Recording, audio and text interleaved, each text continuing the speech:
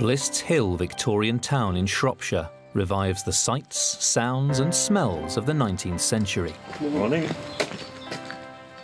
At its heart stands the pharmacy, a treasure house of potions and remedies from a century and a half ago. Now, in a unique experiment, Ruth Goodman, Nick Barber and Tom Quick are opening the doors to the Victorian pharmacy, recreating a high street institution we take for granted but which was once a novel idea. Oh, how can I help? They'll bring the pharmacy to life, sourcing ingredients, mixing potions, and dispensing cures. But in an age when skin creams contained arsenic and cold cures were made from opium, the team will need to be highly selective. They'll only make safe versions of traditional remedies and try them out on carefully selected customers. The start was like the Wild West. People didn't know what was good and bad. Try and get a bit of speed up. Oh, there we go, yeah. The pharmacy was something that affected everybody's lives in one way or another. They'll discover an age of social transformation that brought healthcare within the reach of ordinary people for the very first time, heralding a consumer revolution that reached far beyond medicine to create the model for the modern high street chemist as we know it today.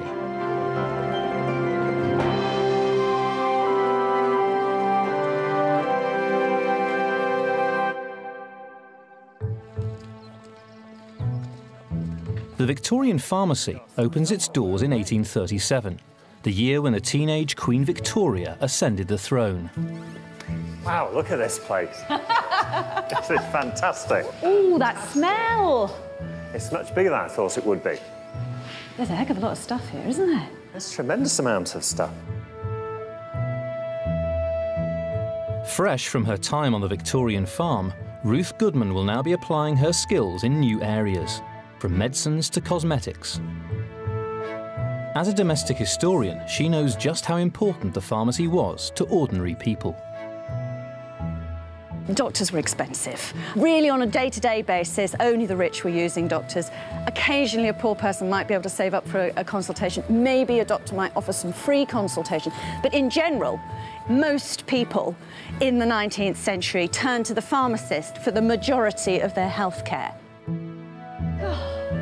It's a beautiful place to, to be in. We're going to be able to make this work really well. Nick Barber is Professor of the Practice of Pharmacy at the University of London School of Pharmacy. Parrot brand polishing soap and monkey brand. Things like Sloan's liniment, which people use nowadays, and Zam-Buk.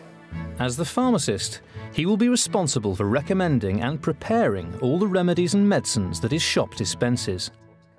It's a unique opportunity for Nick to learn how his profession evolved.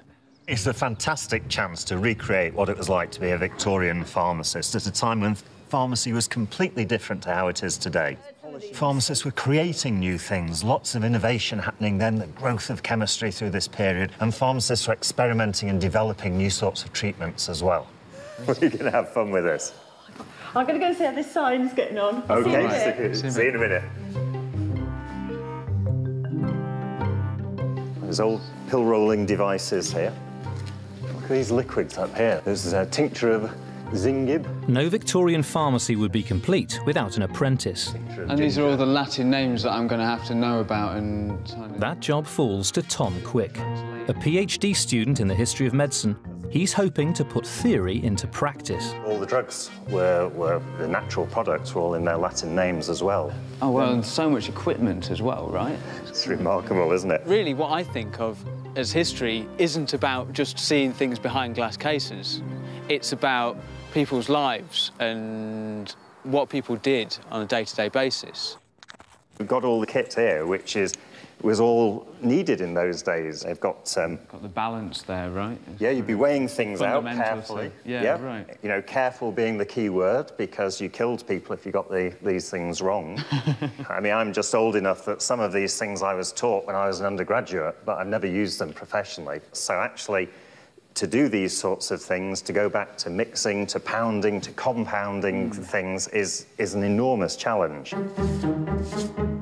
The front of shop is where they will come face to face with the public. In the early Victorian age, new ideas on how to treat illness were beginning to filter through to the high street. But in this moment of change from traditional to scientific medicine, many of the cures the pharmacy will sell are based on old beliefs and remedies. Poison of lance-headed viper. Oh my goodness. In 1837, despite the dangerous product on the shelves, anyone could trade as a pharmacist. Even grocers were setting up as chemists. Look at that. Wow. That looks so good. Well, it's just fantastic to see your name above a, a shop like that. yeah. You'd want a good standing within the community, wouldn't Yeah. you, to be a pharmacist? Yeah, I it's think sort of everybody- that- You- it was a hub of the town, really, and uh, people used to come here. Everybody's ill. Everybody comes to the pharmacy. Opening a new shop was a massive investment, and pharmacists needed to be entrepreneurs to survive. Marketing was everything. Like many of their predecessors, the new Barber and Goodman pharmacy is having a grand opening.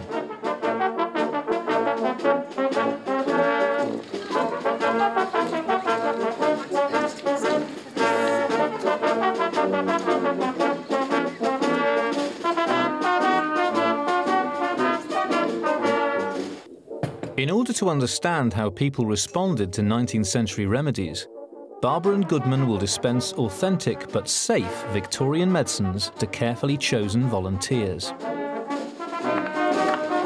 The pharmacy's first customer is Sue Dodd, who's worked as a nurse for 35 years. Hello, Mr. Barber. Hello. I have a very bad cough. Is there anything that you can help me? Well, have you tried modern cures for a, a cold? Do you think they work? Some do, although you can't beat uh, natural local honey um, and lemon for sore throats, um, generally, things like that. Well, in Victorian times, what we'd have given you is Dr. John Collis Browne's chlorodyne. I've got a chlorodyne in here. It's um, invented when he was an Indian Army doctor for cholera. It didn't treat cholera, but it became a very popular treatment for coughs, colds, chests, and things like this. Yes. It's got in chloroform, it's got uh, Oh, right. opium in it, and it's got cannabis in it. Why did they put those things in? Well, it makes peop- people feel better, as you might imagine. Many pharmacists made up their own versions of chlorodyne, but the high opiate content made these medicines addictive, and death from overdose was a real risk. Collis Browne's mixture is still on sale today, but with a low, non addictive dose of morphine. Opium suppresses cough. So if people do have uh, troublesome coughs, then it would help bring that down. What we'll do is we'll look out something for you which is a bit safer. And will it have the uh, opium and things like that in? No, no, we'll find one without those Oh, sorts of things. We'll Just use the natural herbs Yes. we'll use for this one. That sounds wonderful. Before his customer returns for her authentic Victorian cough medicine, Nick will need to find a less risky recipe. Horehound or horehound and, ana- and aniseed oh, here. Oh, okay, great. Try that, see yeah, what that looks no like. problem. Balsam of horehound and, and aniseed. That's it. The one? So what have we got in? Paregoric elixir, tincture of Senega. The chemist's Bible was the Pharmacopoeia, which listed all the remedies and potions of the day. The one we can't use definitely is paregoric. And paregoric is, um, is camphorated opium. It's, it's a form of opium. So again, we've got the morphine in. So what I think we need to do is take that balsam of horehound and aniseed and see whether we can reformulate it using current knowledge and using things which are a bit safer than some of the ingredients. My goodness, it's gorgeous at this time of year. isn't it? Nick's chosen remedy, balsam of horehound, was made up largely of natural herbs and flowers. Cleavers, this is what we're after, yeah? Perfect, exactly.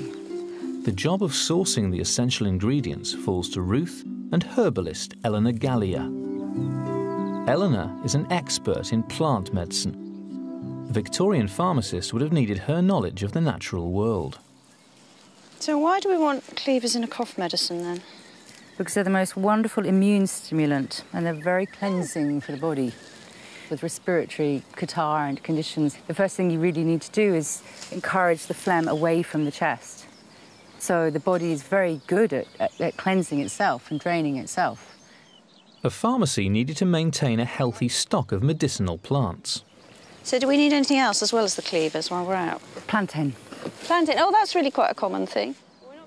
The surrounding countryside was a valuable and free resource. Yeah. They like to be stood on, planted into the ground. While Ruth is gathering the ingredients for the cough medicine, at the back of the shop, Nick and Tom open up the pharmacy's laboratory. Wow, look at this place. This is going to be amazing, isn't it? The nerve centre of their business, this is where the pharmacist would experiment with new cures and manufacture drugs and potions. It's halfway between a, an alchemist's cave and a kitchen and a, a storeroom and all sorts, really. Yeah, I mean, in, this is a really interesting space for me. This is a place where they probably changed the most dramatically over the time period we're looking at. Say, 1840s, 50s. This is kind of like a kitchen, right? When you look, you've got the kind of all these ingredients over here, these yes. sort of herbal things, and you'd be here sort of at the bench making your latest kind of concoction for yep. to sell, sell in the to shop. sell to the lucky public out there. But by the end of the century, this is kind of a more a place of chemical experimentation, right? And we've even got got a hammer for pounding the herbs.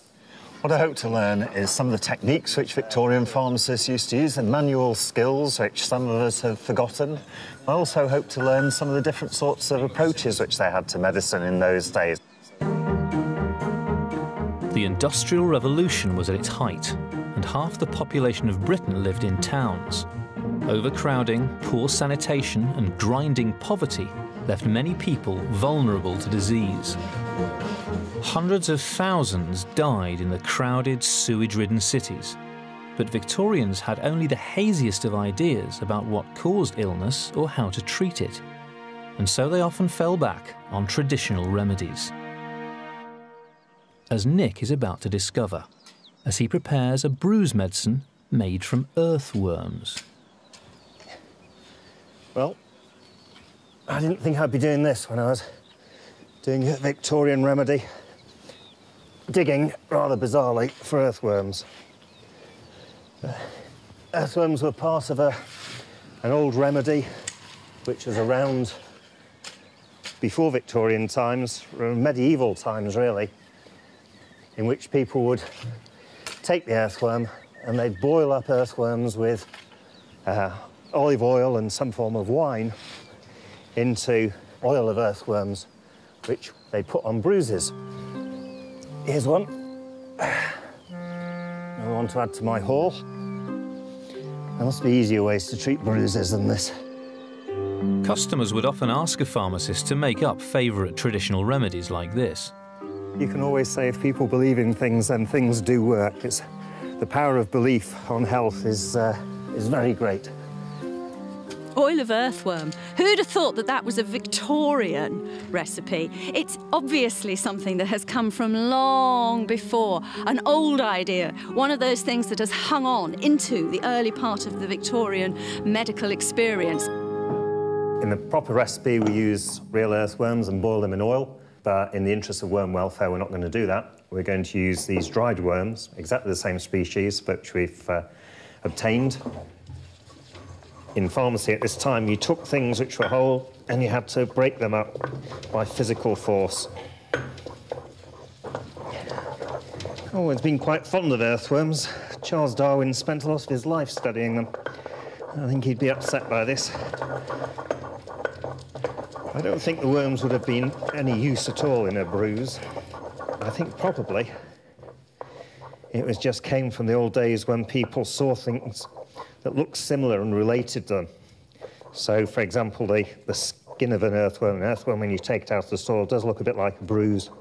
They didn't understand what a bruise was as we do now, of course. In those days, there wasn't much science around. So if things looked similar, that was probably good enough for most people. We can add some red wine. Seems rather a waste, but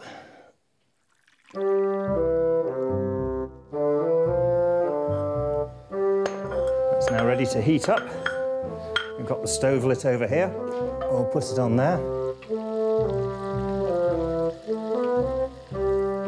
I'll bring them over here to cool and take these lucky ones back to the garden.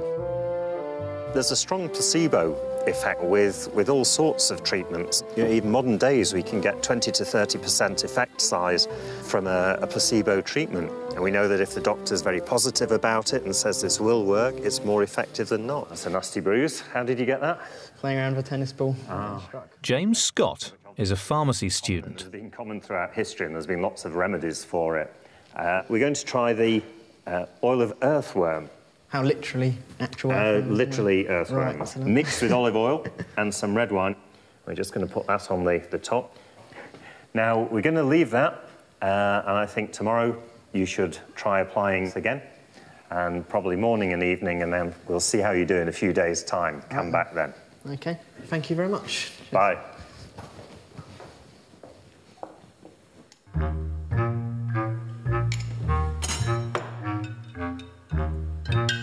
Pharmacist's apprentice Tom is hard at work setting up the carboys. So that's the iron, iron oxide, I believe. I'm going to try and make a, a lovely purple colour so that we can. Um, the idea would be to attract as many people in by sort of demonstrating your pharmaceutical skill in some way, basically. I think we'll just see what happens for the moment.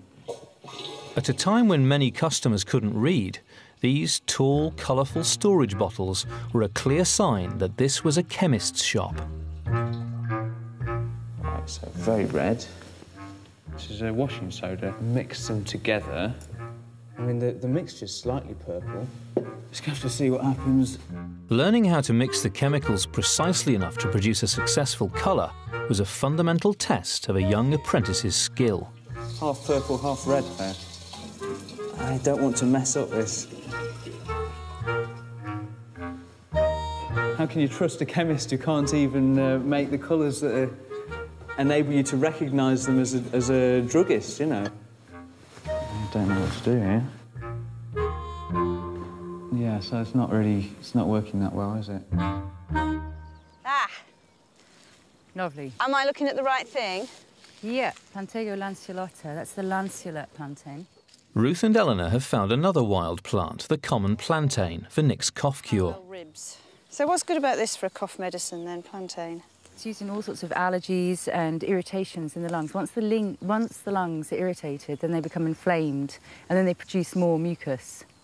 So actually what plantain does is it soothes the, and tones the mucous membrane. The mucosa is incredibly important because it's where the oxygen that you breathe in dissolves from a gaseous form into a liquid form. And you can actually take it in a tea, you can use it in hay fever to, when you have that problem, the allergy problem.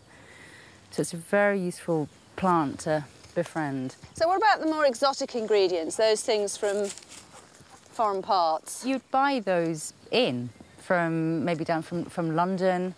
Um, yeah. So, so I suppose they're being gathered by herbalists in other parts of the world, really, aren't they, for sale? Herbalists and, and collectors, and they still are.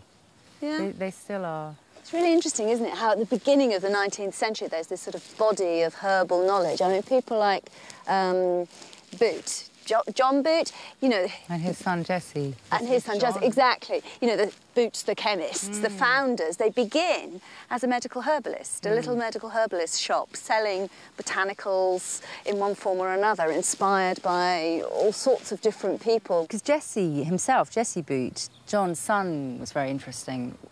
He studied pharmacy in his spare time, and then they employed a chemist. And the herbalist business was no longer making money moving no. into. And the druggists were so big at the time and they were very much about making money. And so it was in their interest not to be encouraging too much. Well, not, not to be encouraging people to be using their own medicines and growing them. The word drug derives from the Dutch droog for dried plant. Today, there are more than 7,000 medical compounds derived from plants. Tom is edging closer to a near perfect colour. It looks an all right colour now. All we need to do, really, is dilute it so hopefully a little bit of light goes, comes through it. It's very thick, so I'm just going to go for it and pour this straight in, try not to make too much of a mess, and see what happens. Having achieved a reasonable purple, Tom moves on to the yellow carboy.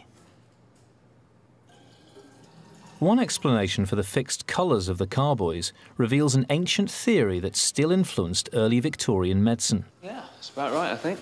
that each of the colours represented one of the four elements, Job done. or humours, that made up the body. The four humours were black bile, blood, uh, phlegm, and yellow bile. And those really equated to things which could be seen coming out of the body, to put it basically. And this is how they understood the body. The body had too much of things inside it, and therefore things would come out when it had too much of that humour, so it could be kept in balance. Belief in the four humours persisted well into the 19th century, and an excess of blood in particular was thought to be the cause of many illnesses. Bloodletting was big business, and a jar of healthy, voracious leeches was a real money spinner for the Victorian pharmacist. Horrible looking things, aren't they, I think? Carl Peters Bond runs a leech farm in South Wales. What did they use them for in Victorian times? Uh, basically, where they used to cut people to remove blood, which is Yeah. obviously very painful, Right. uh, the leech can, can bite. It sort of uh, cuts a little Y-shaped hole. Ah, So probably a leech this size would probably take about eight mils, and you'd probably lose about 50 afterwards. Right. It's Wow. almost a luxury because it's painless. Yes. Fairly painless then. And were they luxury items or were they everyday items? Yeah, they were probably been a very expensive item, so uh, you know I would consider them a luxury. Yeah. Go on then, let's see what they're, they're like. Well, feels a bit like a slug. Yep. Feels very leechish. So these would be picked out and they'd be put onto a, onto a patient. Whoop. Not too keen on getting stabbed by that end, I must admit. I'm a bit nervous about it, I have to say. Carl's partner, Christopher Peters Bond, has bravely volunteered to befriend the leech. Quite a bit smaller than the other leeches. They are. These, these have uh, basically been starved for almost two years, so their, their gut is completely empty of blood. Just lay them on the skin. Yep. Oh, it's really arched its head, hasn't Yeah. it? It's, it's very different to when they're just holding on my skin. It's just tasting him out. Yeah, here he goes. He's, he's sort of having a bit of a nibble. I can feel a, a it's like a like a little bee sting. It's, uh, it's, it's a it's, yes, it's uh, but apart from that, no, it's, it's, it's next to nothing at all. It's uh, That's what they've evolved over millions of years to do. So they bite painlessly and remove the blood. So it's a, a natural pharmaceutical tool, really.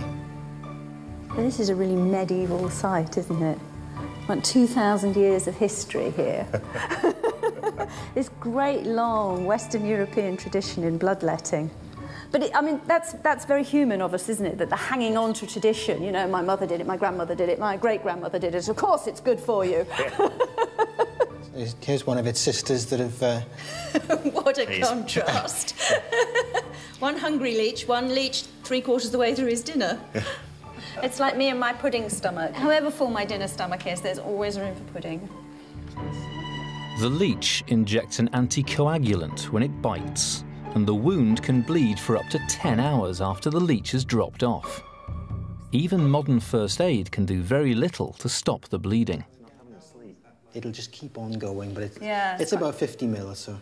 It shows how potent the chemicals are in its saliva to really produce that effect for such a long period of time.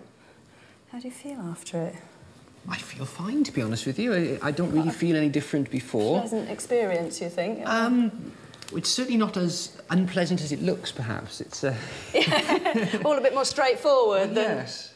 I'm surprised that uh, yeah, certainly there's uh, no pain at all or anything like that. So uh, I completely can uh, understand how someone might sit through several of these thinking that they're doing themselves some good. Yeah. I mean, it certainly beats all the other bloodletting methods, doesn't it? It's so much better than being cut with knives or. I certainly wouldn't. Uh, I don't think I would have volunteered for, for having a knife cut at me. I hope you still feel as positive about it in 10 hours' time when you've changed the bandages six times. After use, the leech goes back in the jar, and the bloody bandages are dried out, ready to use again. It wasn't until the mid 19th century that Victorians understood the dangers of cross infection, so disease spread easily. Right, next job. But while leeches remained popular, the ever inventive Victorians came up with man made alternatives for drawing blood, including the scarifier. They press this button here and the blades would shoot across. oh.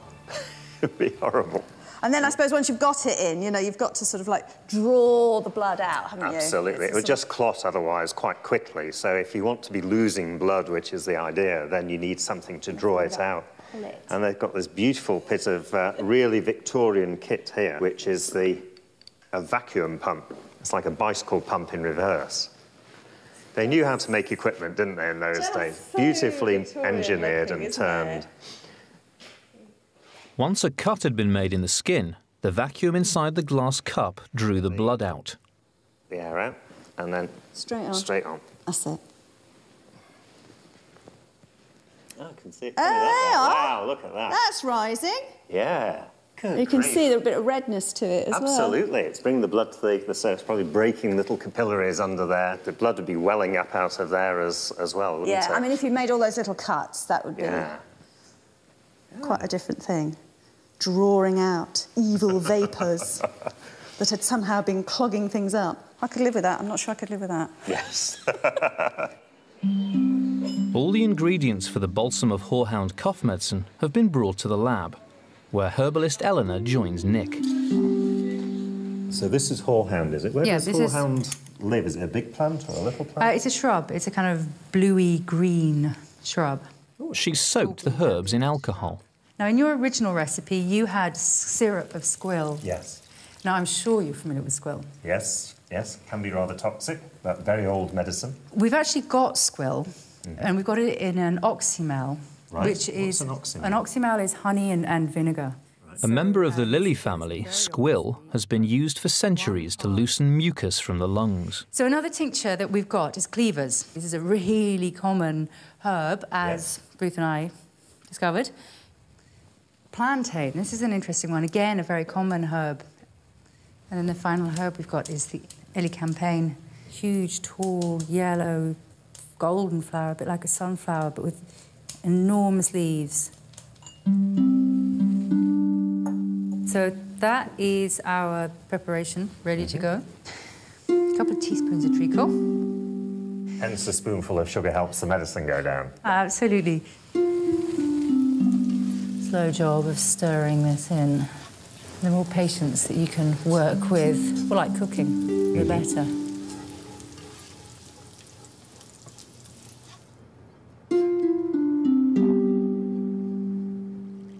So this is the oxymel of, of squill.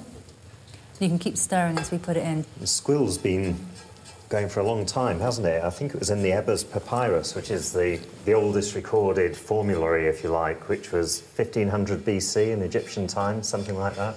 And apparently it was considered so effective that it was a, an object of temple worship. Really? Yeah. So that's lovely. That's lovely. Ready to bottle it now. Yes. Early pharmacists put art and skill into the medicines they created. Thank you, Doctor. Thank you very much. But in order to make a profit, it was essential that the customer was satisfied and that word got out to the local community that here was a medicine that could be trusted. It smells fantastic, I have to say. Let's have a smell. Oh, that's, um, it smells quite nice. It's half a teaspoon, three times a day in a glass of water. See how it is. It's very, very strong. Oh, yes. it's clearing something. Here's the bottle. We'd like you to give that a try. Come back in a few days and we'll see how you feel. I'll let you know. Bye-bye. Bye-bye. Victorian cities and other industrial centres were notorious for thick smogs or pea soupers. This noxious mix of smoke and sulphur dioxide, thrown up by the burning of coal, made breathing related illnesses a scourge of the age.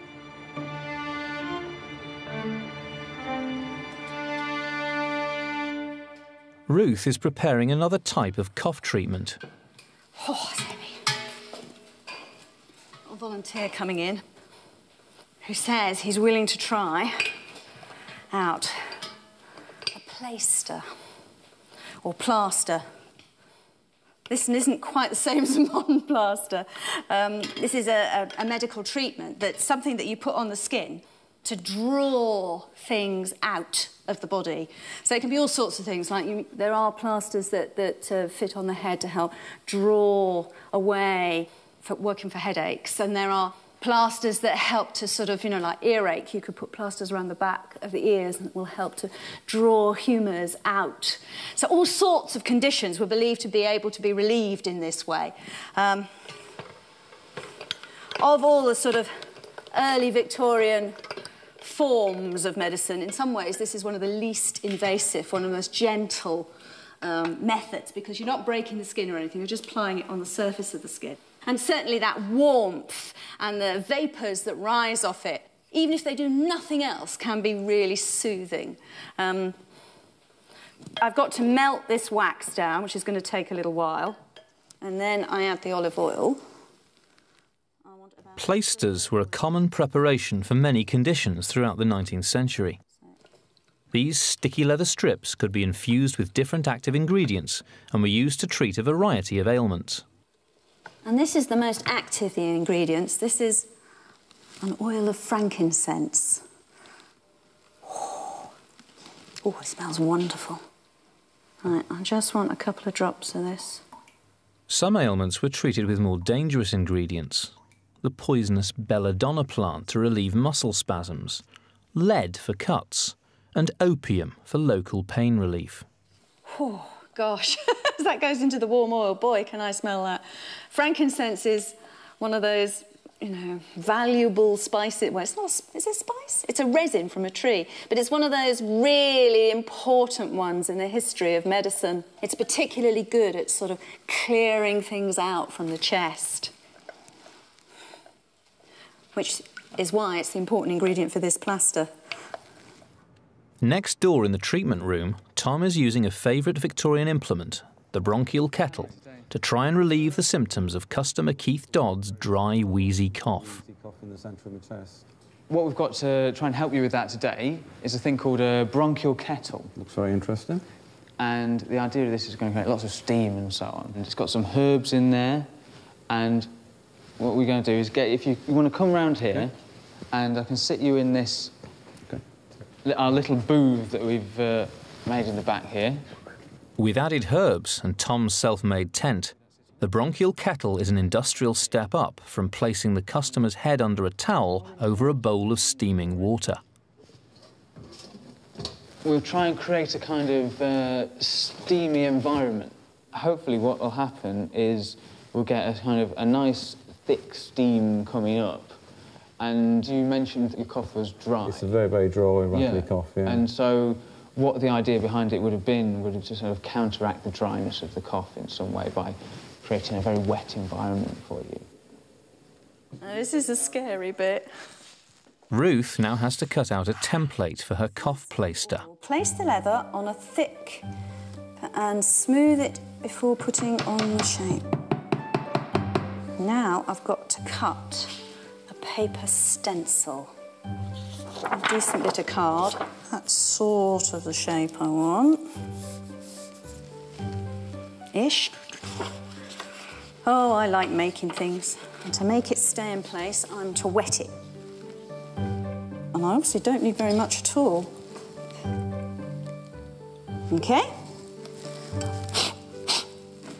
So all I've got to do now is cut around and then I could pack these in boxes. You put a piece of wax-proof paper between each one and you can stack them up in boxes. So you could sell a box of cough plasters, a box of headache plasters. Although it's sort of a very old idea and an old technique, the whole way of packaging it and selling it is actually really new. And there we go. That's my first chest plaster. I do have a bit of a cough, yes. You do? Mm. And what sort of a cough is it? A, a bronchial sort of cough. Um, bit asthmatic. Do you want to Retired Army medic Anthony Dunford has come in to try the plaister. And what I'm hoping is that as the wax melts, mm -hmm. it will release the active ingredient, which is frankincense. Frankincense. So you're going to get that sort of pungent smell Aroma. rising up, you yes. know, under your sort of nose. You'd be breathing it in. And it's uh, pointy end down. So that just goes on the centre there, like that, and we just smooth that. I can feel the warmth of your body is melting that wax. Can, it's more pliable than when I put it on. That seems to be sticking. Oh, it is, isn't it? Hey, the self-adhesive plaster. Perhaps I don't need my bandages after all. I mean, the Victorians obviously would have worn it as long as possible, two, three days. Yeah. So it's really a matter of how much you can put up with before you need to get it off and Well, have a wash. I'll persevere.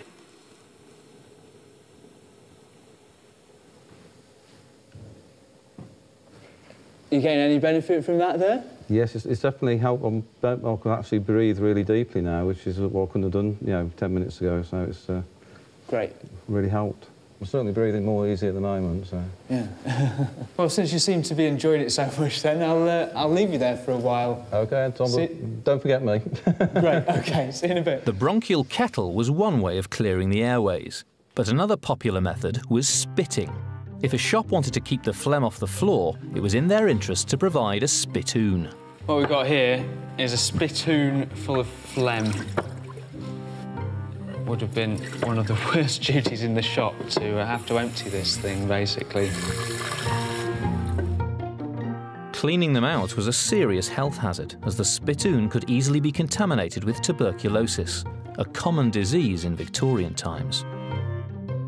The way we think about medicines today, or, and disease today, I mean, this, this idea of lots of different people spitting into the same bowl seems slightly bizarre, but I mean, actually, if you think about certainly early 19th century ideas of disease, it's not so weird because the idea is that really disease is like a visible thing. This is before bacteriology, remember, so there's no idea of sort of a hidden substance there that's going to give you a disease.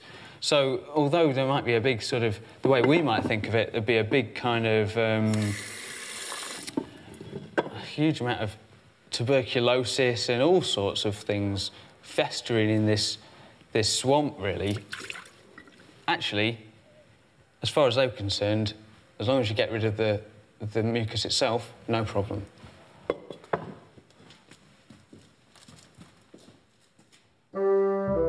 Few things worried Victorians more than their bowel movements, and the pharmacist was able to offer a very special treatment to keep them regular. Victorians believed there was nothing like a good purge to make them feel better. It was what you needed to do to clear yourself out. This is something called the everlasting pill. It's one of my favourite remedies from the Victorian age.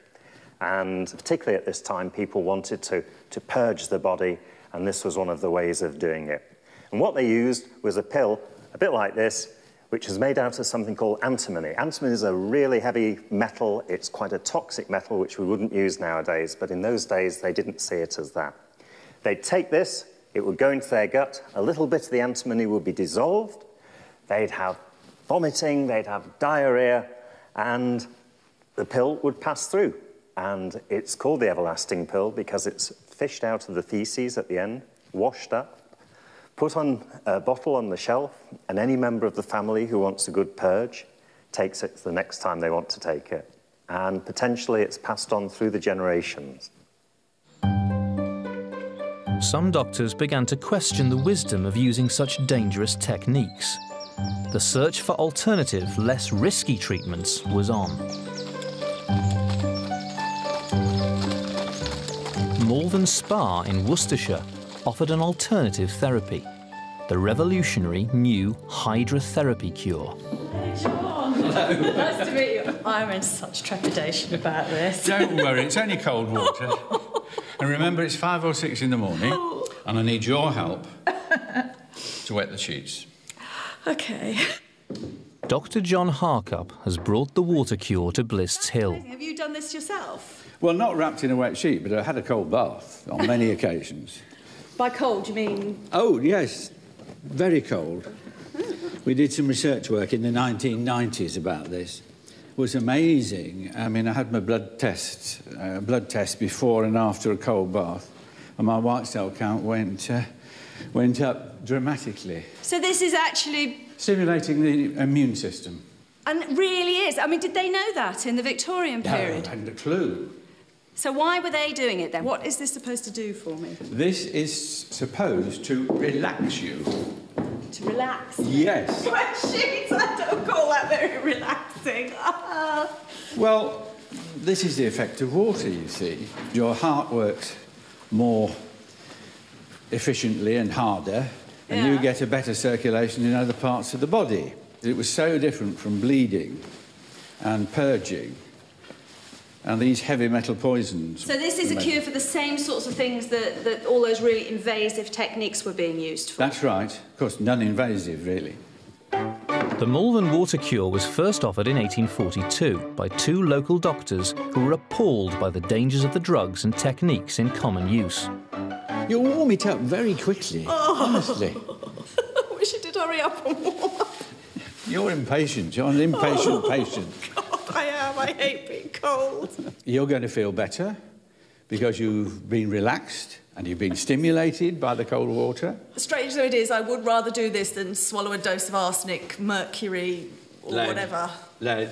Lead, exactly. So you could either go to your physician and have something really poisonous Yeah. prescribed Or you could come to Malvern and and. have uh, the health regime. That's right. One day sort me out. No, no, no, no. You came for three weeks at least. All right, so you've got all the accommodation costs. It yeah. was four guineas a week. And That's a lot of money. it's four hundred pounds. There were quite a number of famous names on the on the patient list. Yes. Charles Darwin came and he ended up by saying he didn't think the water cure was quackery. Right. And Florence Nightingale came when she collapsed after working too hard doing the report for the Royal Sanitary Commission.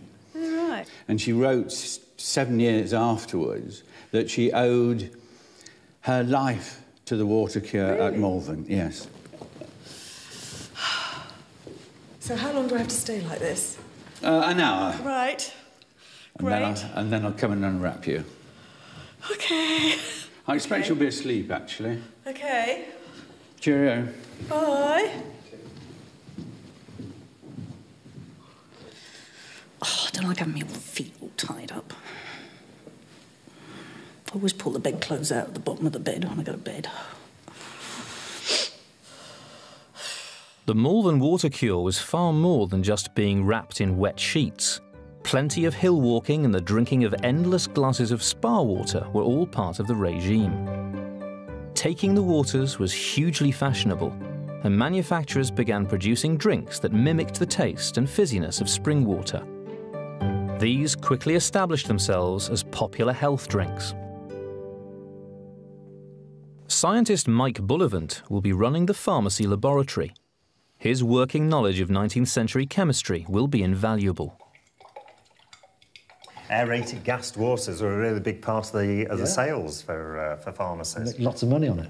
Oh, hopefully. Well, the basic ingredients are cheap enough, aren't they? So how do we make gaseous water? How do we Guess make water. Three ingredients. Yep. First is water, obviously. Good start. We've got citric acid, Right. which is an ingredient in today's waters. It's, uh, uh, it's perfectly harmless. Second, ing- the third ingredient, sodium bicarbonate, baking soda. Another harmless compound. I can Now- see them gassing together there, the gas being produced. Oh, can see You get carbon there. dioxide forming. So there's your aerated water. And the acid test is, does it pop when you open it? Okay, give us a give it a go. Whoa! Result.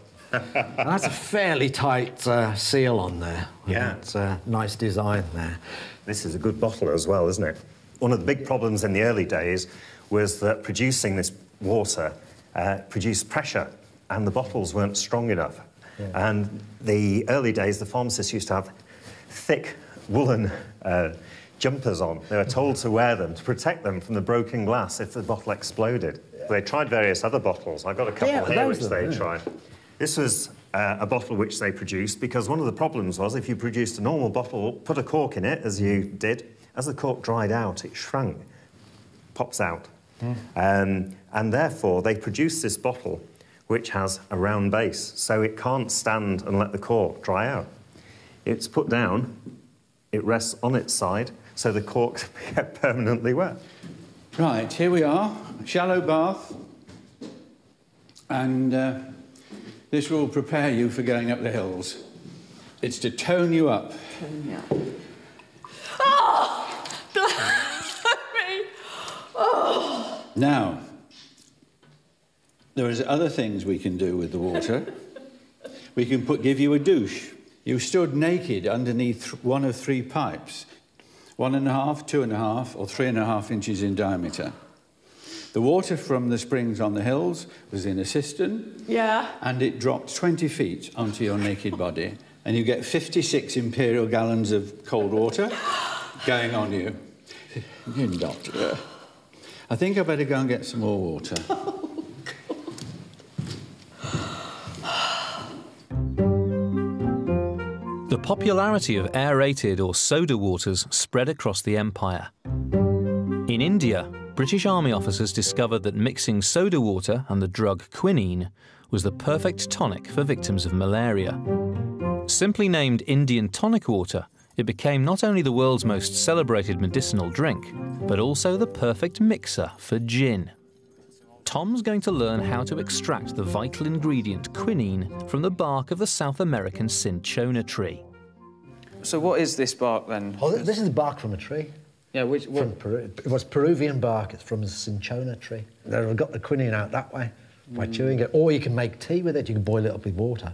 It, it controls fever, Mm. and it stops you sh- shivering. That's one of the uh, the, the, the things, that, the, the reasons they used to take it, which is quite separate from its anti-malarial properties in killing the Mm. anti-malarial parasite. I'm going to take the stuff that you've ground already. This is the ground bark, and mix it up with this very strong alkali, calcium hydroxide. Right. And it releases the quinine. This is the process that we're getting that one element out of all of these then. We're going to isolate one. It's like a needle in a haystack, I guess. you know. we will be able to isolate quinine and none of the others. Let's add the chloroform.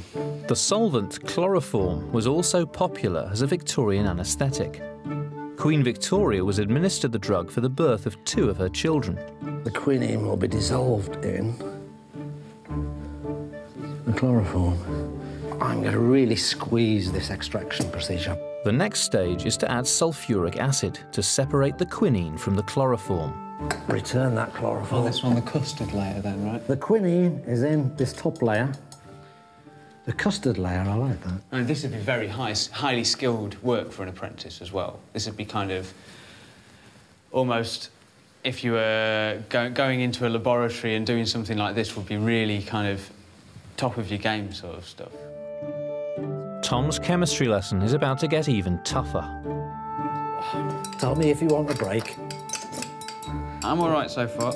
As Mike adds ammonia to the solution, releasing a pungent odour. I'd do it outside, but I think that one of the reasons for showing you this is to show you what a profession you've joined. oh, wow. That's a turning point. Now, that means that all of the sulfate is converted.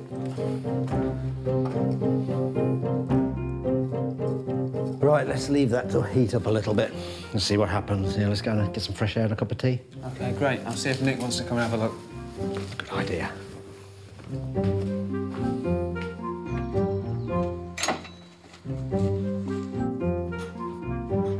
Hi, Mike. How's the quinine extraction going? You've arrived at just the right moment, mate. The, the quinine is in here.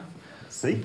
But we've also got a load of rubbish in there, and of impurity that we don't want, so I'm filtering that off. Quinine should, cry- should crystallise out. That's, uh, that's if the process has worked. Yep. This is just such a tremendous story of the, the Victorian times, wasn't it? And it's uh, sort of how Quinine. how things changed in terms, well, the extraction particularly. Yeah. Because quinine was was valued so much, wasn't it? There were wars fought over quinine and Well, there are certain people who would say that enabled Europeans to colonise Africa, the dark continent. Yeah. Because people were going over there exploring Africa, getting malaria, and not coming back. Yes. But quinine, uh, because of its anti-malarial properties, would actually allow people to come back. Well, you can see Yes. it crystallising as it's falling out. yeah. Adding the crystallised quinine to the pre-prepared soda water produces the classic Indian tonic water. Let's pick up one crystal. eh? It's probably way over the legal limit. But I don't think there was a legal limit in those days. I think it was a damn sight safer than anything else they were doing. Where you are, Professor Barber? Oh, fantastic. Let's go find some gin. Sounds good to me. Tonic water wasn't the only recipe to be brought home from the British Empire. As pharmacists established themselves, customers came to them to make up all kinds of preparations. Not only medicines, but anything that required precision, including exotic food recipes.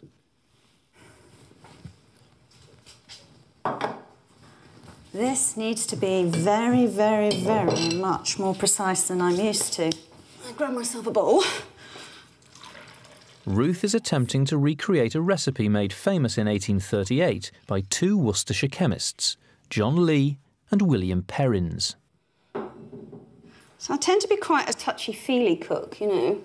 This precision, this being able to produce something exactly the same time after time is what brought in the money. Worcestershire sauce began life as a recipe for curry powder, brought back from India and given to local pharmacists Lee and Perrins to make up. Oh, I've gone over. How annoying. An employee then suggested that it might work better as a sauce. You see, if I was just cooking, that would have done. It would have been fine. And we've got ginger, obviously, and allspice, pepper, coriander, ground coriander seed, mace, brandy, and asafoetida. An interesting substance. It was used as an aid to digestion for centuries in Persia, which is where it's from. It helps to, um, well, it stops flatulence, basically. This, like many of these ingredients, actually were felt to have medicinal properties, of course, as well as being nice tastes. And that could be some of the reason why they're in here. I mean, the asafoetida, you know, this is a sauce, a relish to eat with food. So the fact that it might help to calm your digestion would be really useful, would be a benefit, a bonus. Now, the vinegar. But Lee and Perrins found the resulting mixture so distasteful that they abandoned it in the shop's cellar. Years later, while clearing out the cellar, they discovered the sauce had fermented into something far more acceptable, and the new product was born. See, my instinct is just to guess.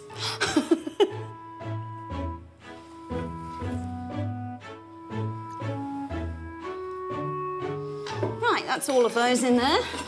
A nice spicy, spicy mix. If a recipe proved particularly appealing, there was nothing to stop pharmacists from selling their own preparation en masse. Some of today's biggest brand names started from such humble origins. Mr. Lee and Mr. Perrins thought it tasted utterly disgusting at this stage, so. God, blinking egg, that's powerful. It's strong.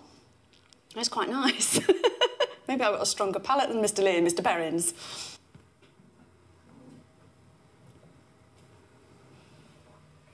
Yeah, and that looks quite good. All I've got to do is come up with a name. In the 1840s, getting the name right, getting the brand right was really important if you wanted to sell loads. Barber and Goodman's Spectacular Shropshire Sauce. Ruth's spectacular Shropshire sauce joins the pharmacy's new range of branded products. The end of the process, isn't it? Yeah. I'm just getting an insight into all the, the different processes that get, went into making this tonic water, you know. I know, it is different, isn't it? The whole business of making stuff and then selling it. It's quite... You can see how people would have felt really proud of what they've achieved as well, Yeah. you know, in terms of seeing it through from the very inception. Go. There's a sense in which the chemist and druggist is becoming a, a much more powerful force in some way. Through, on the one hand, you know, being hard-headed businessmen and making, making their shops into profitable going concerns, if you like. And on the other hand, saying, we're going to introduce chemical knowledge into the pharmacy. To celebrate their first week in business, Barber and Goodman are holding an open evening, a chance to offer some of their new products to the public and to catch up on how their customers are doing. Mustard sauce? Oh, you only need a tiny bit, it's a strong. You know, you want a couple of drops on your chips sort of sauce. Those sorts of flavours. It's that scrunched. It's, it's, it is. There's something about it that just gets me.